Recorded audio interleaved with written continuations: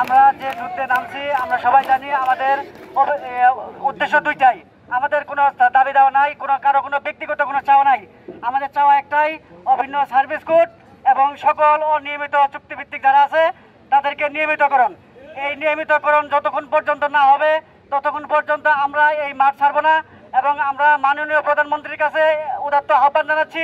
আমরা আপনাদের সুদৃষ্টি কামনা করছি যাতে আমরা আমাদের দায়িত্ব, আমাদের যে উদ্দেশ্য, যে দাবিগুলা, সেই দাবিগুলা যৌক্তিক দাবি, যৌক্তিক দাবিগুলা আপনারা আমাদের দাবিগুলা মেনে নিন। আমরা কাজ করে খেতে চাই। আমরা কোনো রাজনীতি করতে চাই না, আমরা আন্দোলন সংগ্রাম করতে চাই না, আমরা এখানে আসি কাজ করে খাওয়ার জন্য আমাদেরকে সেই সুযোগ আপনারা করে দেবেন। আরবি যে বৈষম্য তৈরি করেছে, পল্লী বিদ্যুৎ সমিতি এবং আরবির যে দুই ধরনের সার্ভিস কোড তৈরি করেছে, এই সার্ভিস কোডের কারণে আমাদের মধ্যে যে বৈষম্য সৃষ্টি হয়েছে, এটা থেকে আমরা মুক্তি চাই।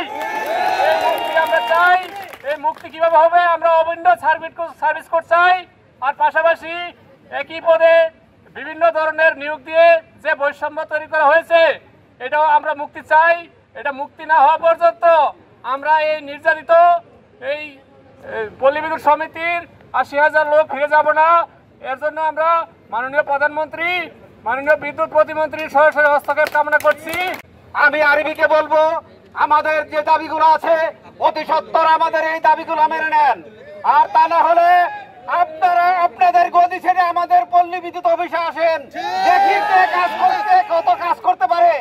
আমরা দেখিয়ে দিতে চাই আর না হয় আপনাদের এই গদি ছাড়তে হবে। কোনোভাবে আমরা ছাড়বো না আপনাদের। এই কৈফিয়ত দিতে হবে।